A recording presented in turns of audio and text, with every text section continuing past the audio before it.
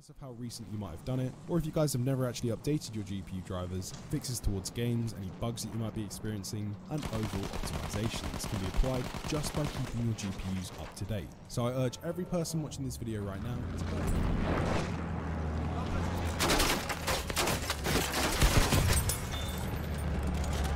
Opanowaliśmy. Oczyścić sektor z żołnierzy wroga. Widzę samolot!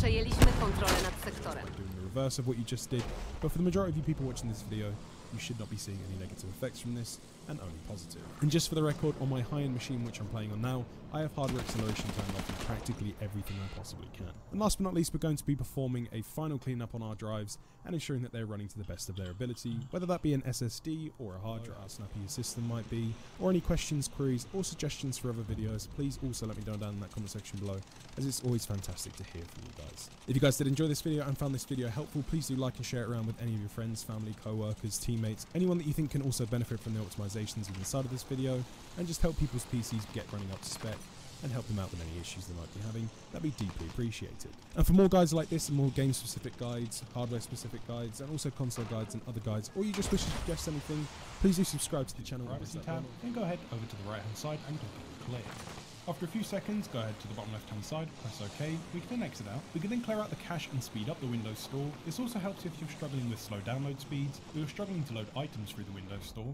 For this it's very simple and easy to do, simply exit out of the Windows Store before doing this, navigate to the bottom left hand side, type in CMD, right click on CMD and make sure that you run this as an administrator, then select yes.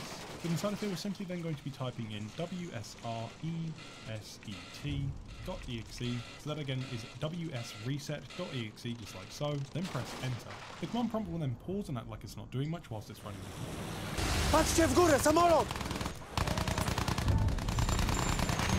Cel Charlie przejęty.